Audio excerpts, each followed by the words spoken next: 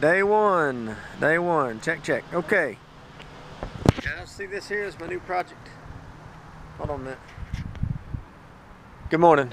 Hello, world. Whoever's watching. Maybe nobody, but a new strategy, a new uh, new direction we're going. It's an adventure, let me tell you. So anyway, we purchased this house. Well, we haven't closed yet. However, um, we should here in a week and a half, I think. Got a little carport, truck under. it. Say hello, Amos. Yeah, we got a couple little buildings here. Um, I'll do a quick pan. There's a little bit of woods, little fence rows growed up, and we go back to the far tree line there. 4.41 acres. Come back around here. There's actually a barn to my left now, down the uh, down the way behind the woods. We got these three cabins from a friend of mine. We got them tear them out. We might use them for something. I don't know.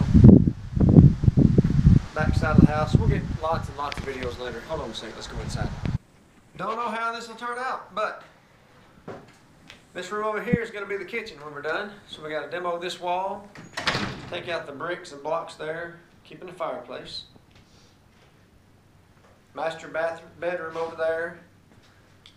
Good heating and furnace. That bathroom will stay to be the master. This area here will be the closet. Okay, so this area here is going to be the great room, which will have living and dining in it. Uh, this opening here is actually going to be closed off, but we'll walk through and show you.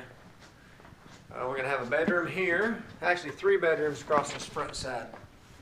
So if you can see, there's three windows, and there'll be a bedroom, a window for each bedroom and a closet.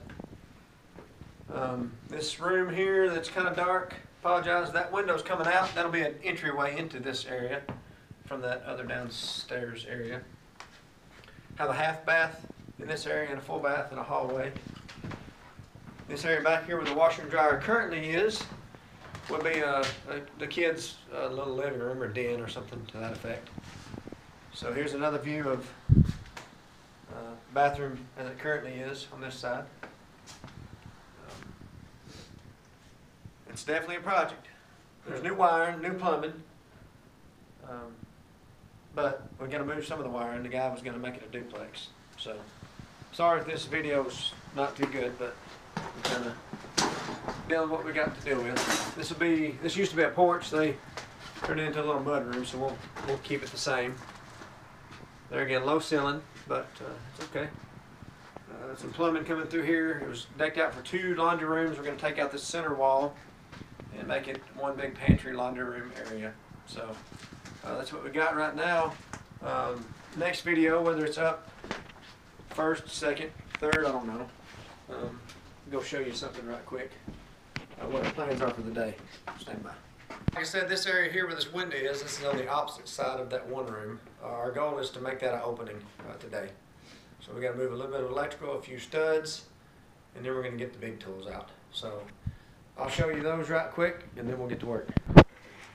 All right, so we have a couple ladders, a couple uh, platforms. We've got our weed eater clean up outside. We've got our backpack sprayer to provide water to the circular saw. It's not really how it's designed, but they want you to have a hose hook to it while you're cutting concrete. We don't have running water here currently, so. Um, and then under this tool pouch here,